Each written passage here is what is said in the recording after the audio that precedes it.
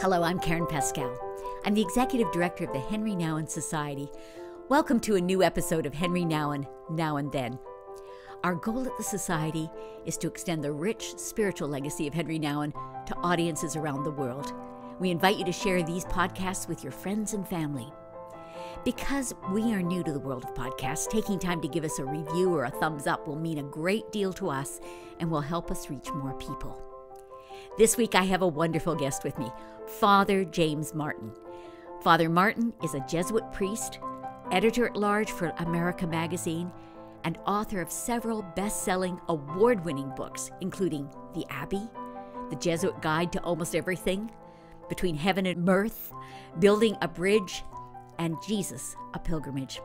Father Martin frequently provides commentary in such places as the New York Times, the Wall Street Journal, and on all the major television and radio networks. Jim, it's so good to have you with us today. You wrote the foreword to the anniversary edition of The Return of the Prodigal Son. In this, you say, the most arresting feature of this book is, for me, the author's near total candor. Tell me a little bit about what that book did for you. Well, I think it's one of the greatest um, exegesis or opening up uh, of scripture that I've ever read. I, I think that you know his ability to take that one story and dive deep into it and open it up for us, and also be honest about you know as he is in all of his writings, as you know better than anyone. Uh, you know his own struggles, his own failings, his own uh, neediness at times. I think really cements. Um, his relationship with the reader. And frankly, you know, when I write, he's one of my models, um, him and Thomas Merton, but especially Nouwen in his openness. And I think that just draws you in and it makes you want to uh, trust this person and also, uh, you know, go along with this person. But, you know, frankly, I think that the, the message of that book, I think that whenever I preach on the prodigal son, I, I always use and I always quote him, Nouwen's insight, which is that uh, you know we act like the younger son, we uh, feel like the older son, but we you know should be uh, living like the father. that's that's for me. That's the book in a sentence. But so it's I think it's just a brilliant book, frankly. And um, I I'm writing my own book on Lazarus, and I'm using his book as a model right now. What what he did for the prodigal son, I'm trying to do for Lazarus. Oh, that's fantastic. I mean, I, I am loving your books and loving your posts, your social media posts as well. So it's it's neat to hear you talk about that and about how Henri has influenced your writing. Um, did you ever meet Henri, by the way, or did or have you just got to know him like most of us got to know him through his writing? Through his writings, uh, you know, I know a lot of people uh, who knew him. Um, and uh, no, but you know, I um, I entered the society, the, the Society of Jesus, in 1988 um, and that's when I first got interested in his writings. And I, I really can't I can't pick a favorite book.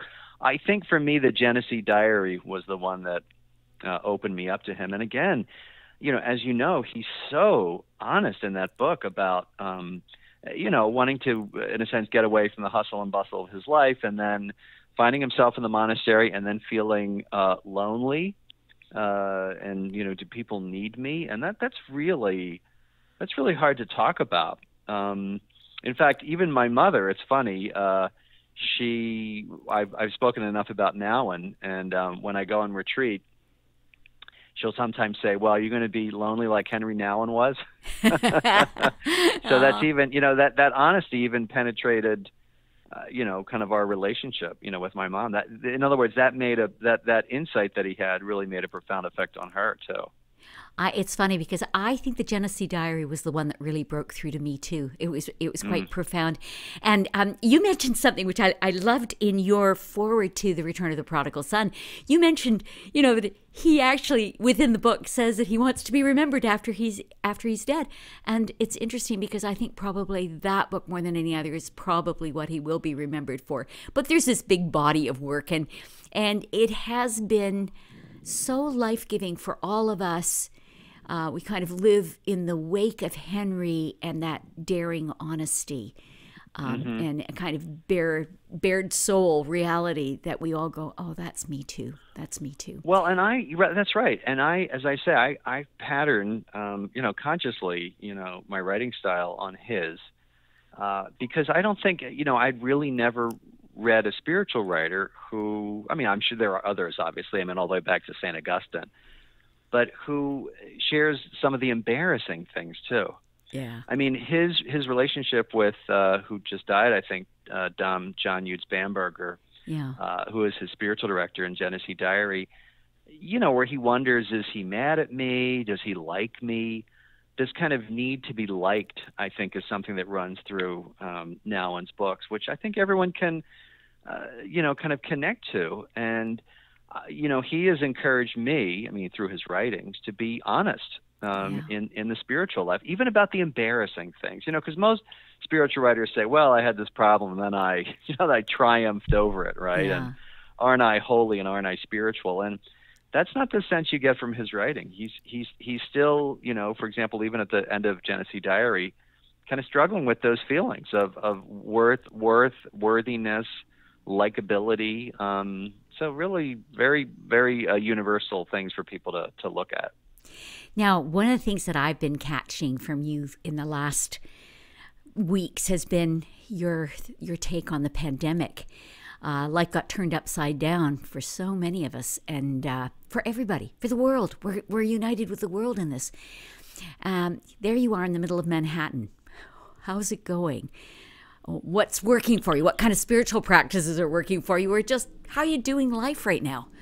Well, you know, I'm luckier than uh, you know most people. Uh, you know, I'm not sick, and uh, my mom, who's 88, is not sick. Our Jesuit community has not been sick, but you know, there have been a lot of Jesuits that have been affected and have died. Um, I know, for example, in in Pickering, um, in Ontario, there were many Jesuits who died. In the infirmary at uh, St. Joe's University in Philadelphia, we had six Jesuits die, and Wow. you know, I live around the block, and as I'm speaking, I can see the windows of Mount Sinai Hospital in New York, where there are people dying and sick. Um, and so, while you know I'm qu- quarantined at home, obviously, and working from home, but you know I'm I'm healthy so far.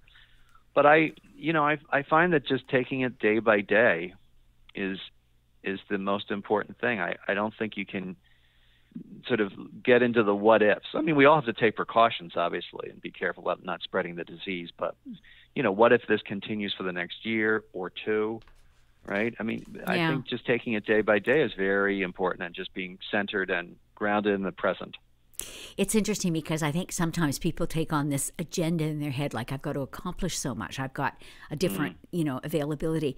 But there is something that really, I, I don't know. I've, I've found myself saying it's like a malaise. It's it, I- it's sometimes hard to lift the cloud, and I can't help but wonder what is going to be different after this. Do you have thoughts about and longings for what might be in the future after this? Well, What- You know that that's interesting. I hope something is different, um, but you know, human nature is such that we tend to want to forget these things. I, re- I remember reading an article recently about the Spanish flu, and I don't know if you can call it that, the flu in 1918, where there's very little written about it, and people, you know, were consumed with the war, World War One, and they wanted to just kind of get on with things. And so, if you think about it, there's very little in our culture that talks about the flu from 1918 uh, you know, I hope that people learn, as Pope Francis said, it's not God's judgment on us; it's it's our judgment on what's important: family, friends, life.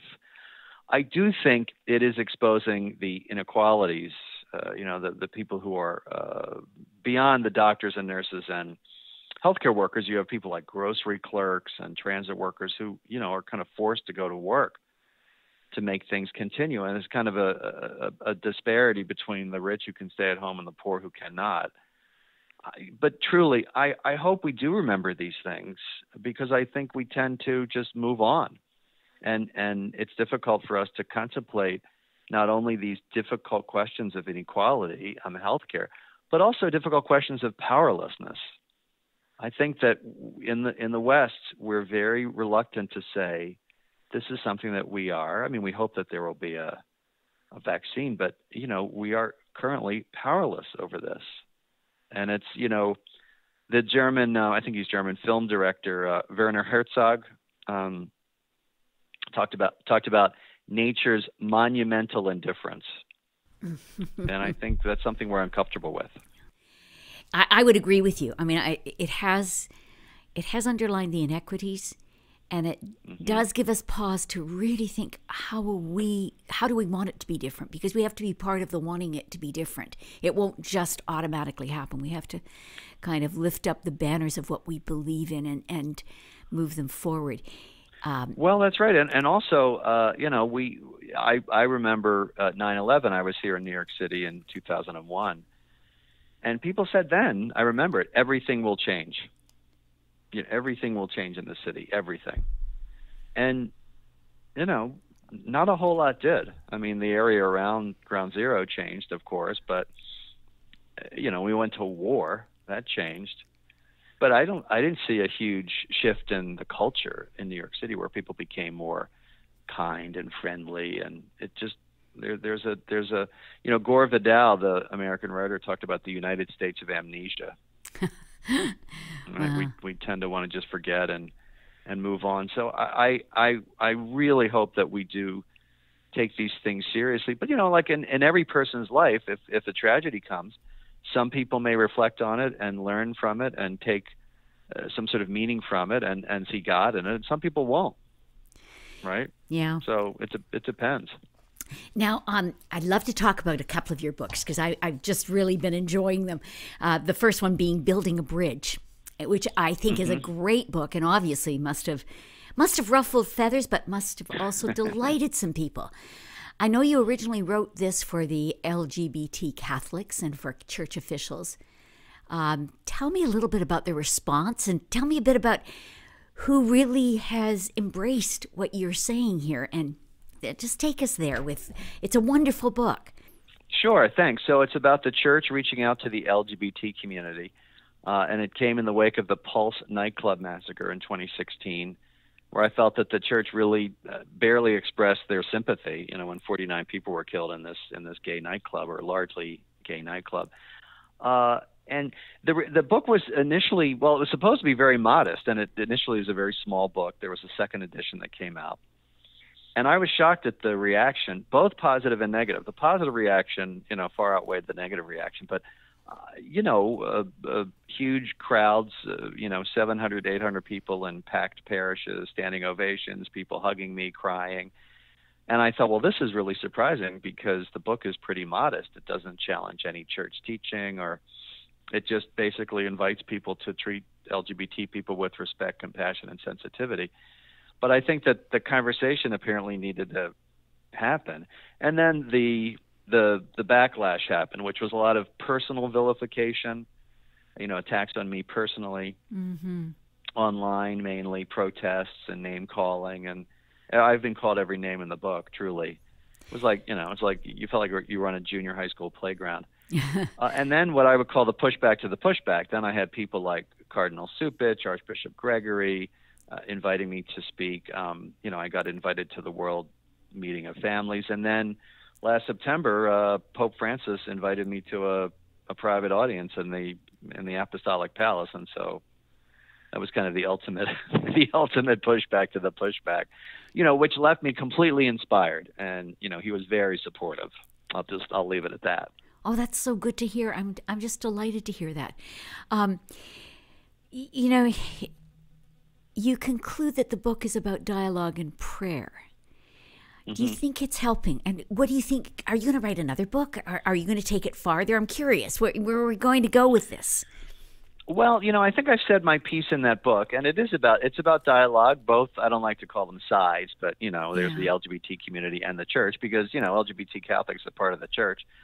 Um, I think it is helping. I mean, uh, you know, I think the Pope's uh, invitation to an audience, that word got all over the world. There were photos sent out, and uh, and I think that gave a great boost to LGBT people. Look, you know, I'm not saying this is as a result of the book, but you know, two years ago, even using the word LGBT in some circles was considered too much. Yeah. Uh, so there's two things that are going on, and and not not uh, you know uh, definitely related to the book. Number one, Pope Francis is simply putting in more and more cardinals, archbishops, and bishops who are open to that community. And number two, more and more people are coming out, and as they come out, they bring those uh, desires and joys and struggles into their families and then into their parishes, and that affects dioceses and that affects the church. So even if the first trend stops, if Pope Francis, you know, God forbid, if he dies tomorrow, uh, and he stops appointing people, the second trend, which is more and more openness in in society, is not going to stop. Absolutely. It it's really interesting. I, I loved where you began it. You know, when you talked about, you know, when you've been received in baptism, you're a member of the church. Period. Yeah. End of story. Yeah, and I, I, I love that. Thanks. Yeah, I always say to people, you know, who feel that they're being, you know, in a sense, pushed out of the church, you know, LGBT people. Um, yeah, look, you're baptized. You're as much a part of the church as uh, as me, as your local pastor, as your local bishop, or Pope Francis. Period. I mean, you're baptized Catholic. Yeah. The end. At the end. Well, um, let me ask you the question. Now, the book didn't go anywhere near some of the really rough topics right now, like the clergy sexual abuse. You didn't go there. Um, why not? Well, uh, mainly because the book was, you know, that that that topic you know the book wasn't about. It was about the LGBT community, and I certainly didn't want to bring it up because you know that equates in people's minds you know homosexuality with pedophilia you know which yeah, we know is yeah. false you know you're yeah, not because you're gay you're not a sex abuser i mean I, t- I talk about it a little in the book but i also didn't want to bring it up because i think any uh, you know any any sort of introduction to that very complex topic you know the causes are so you know complex right about those crimes. I, I think to bringing it up and just you know like mention it and or, or bring it up in a sort of incomplete way would have been kind of almost insulting you know to to people. And it just it just wasn't about that. But but really there's this again there's this false equation. A lot of people who are homophobic say well you know if you're gay or if you're a, if you're a gay priest you know even if you're celibate and chaste as you know gay priests are supposed to be like straight priests then therefore you're a child abuser which is baloney. So i bring it up in that uh, sort of vein. But to go into the sex abuse crisis, which I've written about elsewhere, I thought was kind of uh, not not part of that book's scope. Which yeah. was it's a very short book too. Yeah, yeah. I I take it that it started out of a talk, and then it was just such a hit that it needed to be out there. It really needed to be out there which I, I, am glad you did it. I'm really glad that Thanks, you did it. You. Yeah. Now, the fun for me, because I said, well, what are we going to talk about? And you said, well, what about Jesus, a pilgrimage, which is just a fabulous book. I have to tell you, Thank though, you. given the COVID shutdown of everything, I went after getting the book right away. I should have done it as an audiobook and I would have been able to download it or download it on Kindle, but instead I sent for it. It arrived at four o'clock yesterday afternoon.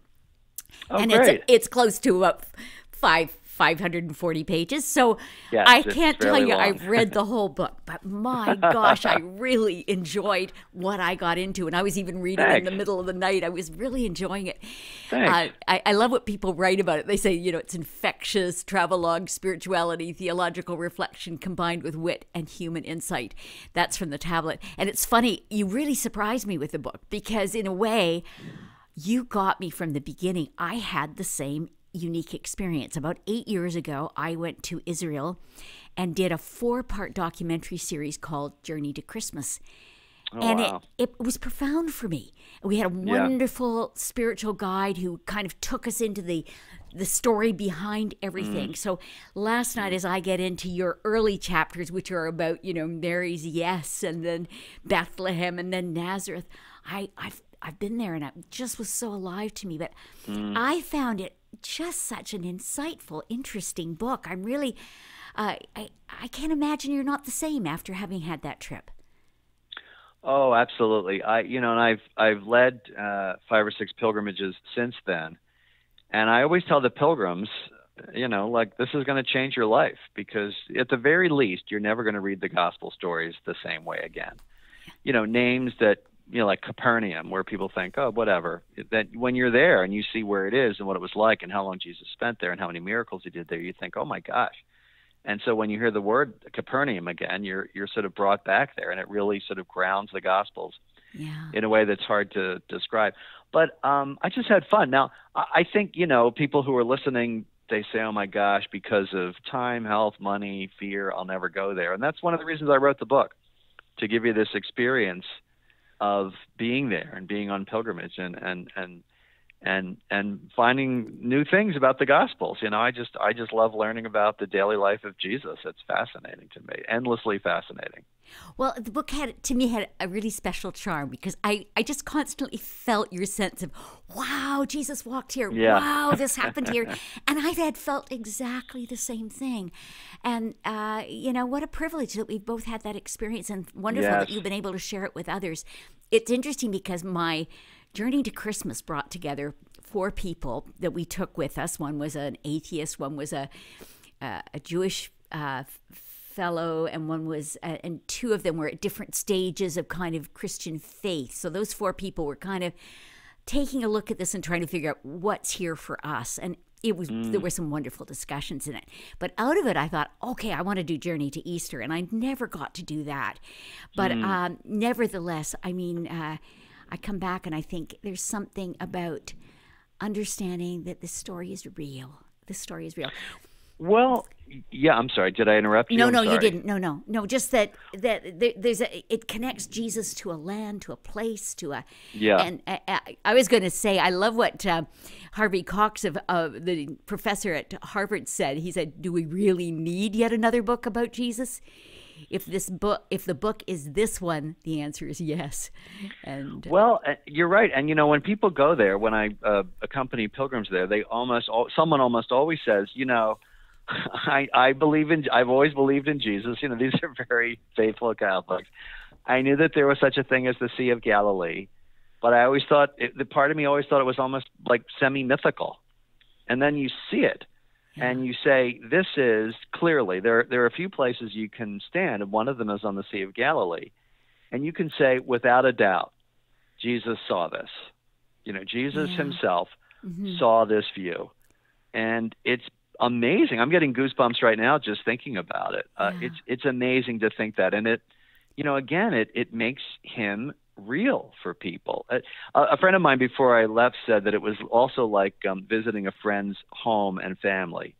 You know, you might yeah. think you know your friend really well, but if you go to the friend's home and you see where they grew up, it just it just opens things up for you in a in a brand new way. Yeah, you get the context of this is where they were shaped and formed and Yeah. Yeah, no, I I well, I followed you as far as I got into the book, into the middle of the night. I followed you and went, "Oh, I'm going to I I know I'm going to finish this because it's just it's quite delicious, but I do feel kind of like a companion to you on the trip because as Thanks. you get really into the details of the place you're looking at, it brings it back to my memory and it brings it back to some very moving moments that um, I just found it was like a pivot point for me as well. It was quite special. Yep. Yeah.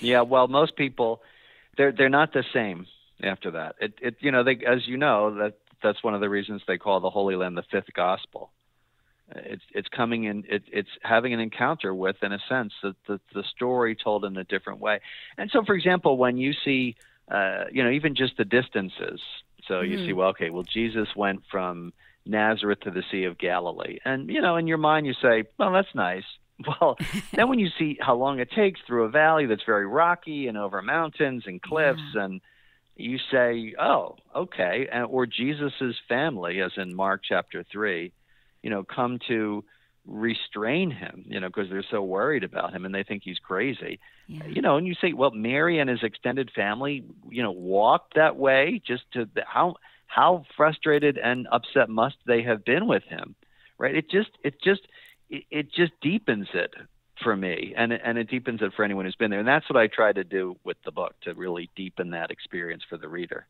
I found that it was so accessible. You I mean you had the guides telling us about the locations but you mm-hmm. had great theological insights.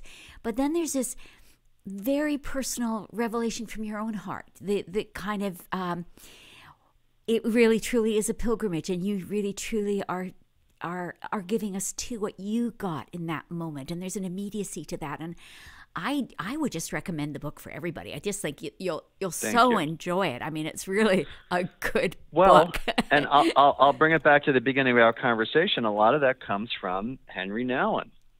Mm-hmm. And so I think had I not read people like, you know, other ones, yeah. of course, you know, Henri yeah. Nouwen, Thomas Merton, I would point to also Kathleen Norris, uh, who's a big favorite of mine you know, if I had not read spiritual writers like that, but especially Nouwen, the book would have been just theology, and travelogue, right? Yeah. But the, the the third part, which is spirituality and sort of my own, you know, experiences on that trip, that's that's now, and I mean that's where that comes from. So it's like the prodigal son, you know.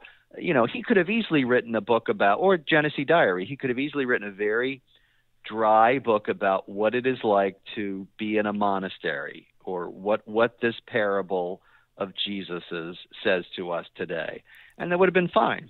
You know, he could have talked about theology, and in the in the case of the prodigal son, he could have talked about theology and scripture, but it's the added part of his own life. And then in the Genesee Diary, you know, it's not just you know, here's what it, it is like to live in a monastery. It's here's my experience and my struggles. Uh, and that, frankly, is the most. I think that's the most important part of both books. You know.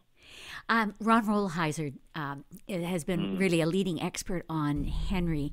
And mm. it's interesting because one of the things he talks about is that really Henri gave us the language of spirituality.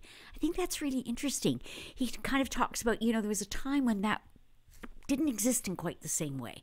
I find mm. that fascinating to think that that may be one of his big contributions. Um, I think I think that's a great. You know, that's really interesting to hear you say that because I look, I am not a scholar of spirituality, and so I trust people like Ron Rolheiser. I think that's. I've always had that uh, intuition mm-hmm. that it was him. Uh, you know, because it is true. I mean, before, if you read, I mean, you know, obviously, you know, Therese of Lisieux talks very openly about her struggles, and Dorothy Day does. But there's a kind of, um, again, I think it's stuff that he, he that he reveals, which is kind of embarrassing things.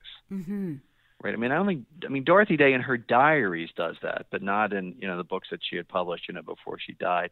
Yeah. Uh, and I think that's, I think that's accurate, and I think that's the kind of spirituality or spiritual writing today that attracts people. Now, some people don't like it, some people mm-hmm. hate it.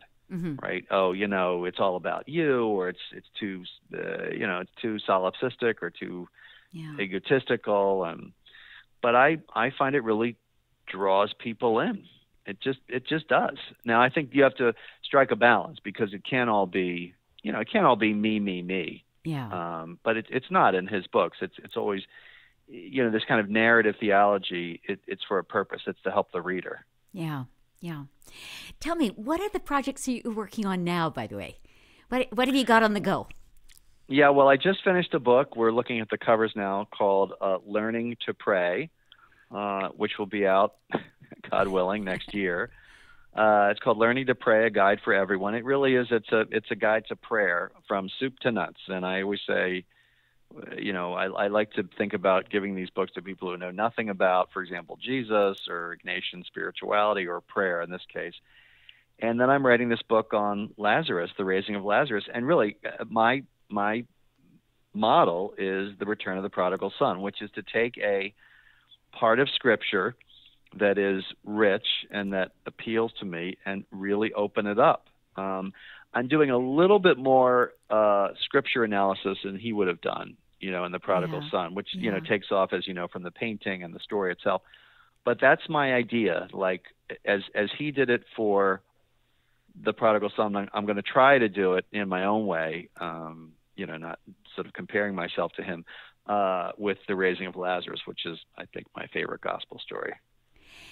It's it's interesting. Um, somebody shared something with me that I that just really stuck a note with me about that story, and it was why was Lazarus home with his sisters, and mm-hmm. wondering about whether he what might have been. Uh, perhaps developmentally delayed. He might have needed yep. those sisters to care for him. And I was so touched by that. That to me was really significant. I don't know where you're going to go with it, but I know for me, uh, I thought he loved Lazarus and that meant a lot. You know, who was this person well, that he loved? Yeah, and you know, especially I mean, you you think about Henri Nouwen's book Adam, right, yeah. and his relationship with the L'Arche community. But I had heard that, uh, and then you know that that that there. It, I mean, I could talk about that for like an hour now. But you know, Lazarus, as you said, you know, he he's with his sisters first of all, and also it's called the house of Martha and Mary. You know, it's, yeah. it's Jesus went to Martha's house, not Lazarus's house, and not their yeah. father's house. Yeah. Okay. Uh, and also, Lazarus has no lines. To, Lazarus says nothing in the Gospels. Right. Uh, you know why is that? And as you say, one of the one of the thoughts is that he may have been in some way disabled. Uh, the other insight, which is fascinating and which sort of blew my mind, and I hope blows your mind, is that um, many scholars today believe that Lazarus is the mysterious beloved disciple in John's Gospel, Oh. uh, who is the orig- who is the sort of origin of the story that we find in John's Gospel, and it is not so. It's not so out there if you think about it. Um, Yeah. He is called "He whom you love." Yeah. um, the beloved disciple is, you know, the one whom Jesus loves. And there are many little clues at the very end of John's gospel, which I find fascinating. You remember in John 21, when Jesus meets Peter by the seashore and he says, you know, do you love me? Do you love me? Do you love me? Right? Feed my sheep, feed my sheep, right? At the very, very end, there's this very strange passage where Peter turns to Jesus and says, What about him? Is he going to die? About the beloved disciple. And most people Yeah. say, Oh, that's interesting. Well, who would they say that about? Why would they expect some, you know, fisherman from their group or a tax collector to never die? They would probably say that about Lazarus. Is he going to die again? Right. Right. Oh, and wow. so, yeah, Uh-huh. yeah, exactly. And so there's lots of little kind of clues like that. So Lazarus, yes, he may have been disabled or may have been the beloved disciple or may have been a leper. That's the other thought. Um, that, that that Mary and Martha and Lazarus were all lepers. Yeah. You know, they had leprosy, Hansen's disease. So anyway, well, I'm trying to do what Henri did for the prodigal son. If I get halfway there, if it's as, if it's halfway as good as that book, I'll be very happy. Well, I find it delightful to see. Like, who would have thought Jesus, a pilgrimage, would be on the bestseller list of the New York Times? But you write in such an accessible and such an engaging way, and, and, and I'm sure that the next one will be very much the same. I do need to ask you one thing. There's another part of your writing life. You're editor at large for America. Magazine. Mm-hmm. Um, and, and that's such an important magazine. Tell me just a little bit about what what does it mean to be editor at large on, uh, in that context? Well, my joke is I can write whatever I want to write. so, because I take a vow of poverty as a Jesuit, um, as a member of the Society of Jesus, all of my earnings, whatever I, I mean, everything, you know, goes to the Jesuits. Okay, Uh-huh. so, for example, when I, you know, get a paycheck from America, it goes to um, my community. Um, but the royalties from my book all go to the magazine. Okay. Um, and so, yeah, so that's kind of my work, which is to write books and also, you know, bring in money and give talks and things like that. Uh, so, you know, I'm an editor like every other editor. I don't edit articles anymore. I can say thank God. Um, but I, you know, I'm I'm in the office every day, or at least I was. Um, and I write and articles and you know work with the staff, and I love it. I hope I never leave. I really, I love writing. Love it, love it, love it. Just really love it. And so there's this prayer book, and then the Lazarus book, and There's good and, things you know, coming. assuming there's a there are a lot of things coming. Yes, I have Ah. a lot of plans. Hopefully, I'll be able to accomplish some of them.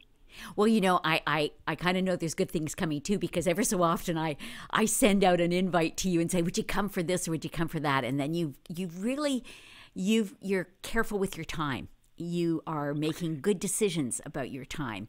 And I think that's kind of an interesting thing to note too, what to say yes to, what to say no to. But it it's interesting to hear much how much you love writing. That that it shows on the page. It really does show. yeah, on the thanks, page. and, thanks. And part of it is also I know that if I travel, I can't write. Oh. Uh, and I, and of course, who knows what travel is going to be, you know, in the Yeah. next, you know, year or so. Um, but I, I, you know, look, if I, I have a little carpal tunnel, so I have to be careful about how much I write physically. But frankly, if I could write all day, truly, I'd be happy. I mean, I really, some people hate it, but I, I love it. I, I just love it. I fear the blank page, but I'm glad to know somebody out there loves it. I'm so glad to hear that. Can oh just, no! Look, I always say my my um, my my advice to people is always just say to yourself, "What do I want to say?" That's all, and then just say it. And Yeah. the other thing is, if you're worried about you know saying the best thing or writing the best way, someone said to me, the greatest cure for writer's block is this: immediately lower your standards. that's that's perfect. That that that will help me.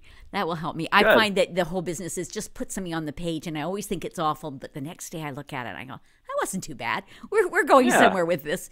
Yeah, Yeah. I, I think I find that helpful. Can I ask you something that is sort of uh, in a closing question? You know, you have said some wonderful things about Henri Nouwen, but one of the things that I in a sense, in this role as the executive director of the Nouwen Society, we long to share what Henri has to offer with the next generation. But really, there is a question: Is Henri needed at this time? Is there are there things that you feel Henri has to say that don't come from anywhere else, or let, just let me hear a little bit from you on that. Oh yeah, I I still think what Rolheiser said is important, which is that you know he is the I would say the the groundbreaking voice in Catholic spirituality. Um, you know, after Merton and Dorothy Day, who didn't write in his style. Yeah. I mean, they they simply didn't. You know, Thomas Merton in his diaries, he's open, but not as transparent. And I think young people really crave that sense of authenticity and honesty. And I also think his his emphasis on um, you know on people who are forgotten in society, right? I mean, Adam, for example, uh, and you know some of the insights he has from his work in L'Arche is is really helpful. I find that voice so appealing. So, for example, uh, I used to run a book club uh, at the Church of St. Ignatius Loyola, the Jesuit church in New York City, and we would read, um, you know, we would read Thomas Merton's Seven Storey Mountain. And we would read The Long Loneliness by Dorothy Day, two of my heroes, right? And yeah, you know, Dorothy Dorothy Day's on her way to sainthood and should be. And I'll tell you, some of the young people didn't like them. You know, they didn't like Merton because you know he's pretty, he can be pretty full of himself, right? Mm-hmm. Especially at that time in his life Dorothy Day, they found, you know, they found the book too long, and she's extreme, you know, she's mm-hmm. extremely cerebral, and you know, Nouwen was very bright too. They all loved Gen- the Gen- the Genesee Diary. They loved it, you know, and I just so there's something about that voice that I think speaks to young people, especially today. They just they just it, it's honest. I think people trust him in a sense. Well, he's not as he's not as he's not as sort of forbidding, I would say, also as Dorothy Day and Thomas Merton. I, I think probably one of the things that I found so in a way endearing is he keeps taking us down another level inside of himself and when he yeah. and he does it within us as well and it is that issue of self-loathing which i went oh my goodness somebody just talked to some very deep places in my secret being the self-loathing well, issues and things like that that he had words for and you go oh yeah oh yeah, that's me. Well, and he's also a psychologist, and so you trust him in that sense too. Yeah. It's not simply someone flailing around and throwing out, you know, insights mm-hmm. that may or may not be helpful. I mean, this is someone who has a very, um, you know, deep psychological background and psychological training, and also, you know, spiritual training, and so, so you trust him too. Yeah. Right. I mean, I, you know, I mean, I, not not everyone has to have a degree to be trustworthy, obviously, but I trust him when it comes to the psychological stuff. And also, you know, I also knew people who knew him. Uh, did you know him yourself? Yes, I did. I did. I did. Uh, I actually have a story where, in essence, I pursued him once I once somebody gave me his books. I pursued mm. him. I was doing a program at the time called Cross Currents, which was kind of a roundtable mm. forum. Oh, sure. And eventually got to. Uh, bring him to the program, or we went to him, and then ultimately he died a year later. And then I realized I had some of the best material on mm. Henri, and that's when I started doing the documentary Journey of the Heart, the life of Henri Nouwen. But I really, in a way, got to know him through his friends, as opposed to like. Now I'm curious. I'm sorry. Go ahead. Yeah, no, no. I was just going to say I, I, got to know him through his friends, his family, his colleagues.